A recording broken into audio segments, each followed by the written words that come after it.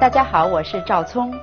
天高云淡出自于我的第四张专辑《琵琶心语》，因为是最后一首，所以我希望请我的好朋友们跟我一起来展示中国传统的音乐文化。一杯清茶，笑看云卷云舒，不刻意追求，失之为得到，不为之而痛。得到为缘，缘属自然，不可强求。淡然的心态，悠然自得，实为人生的最高境界。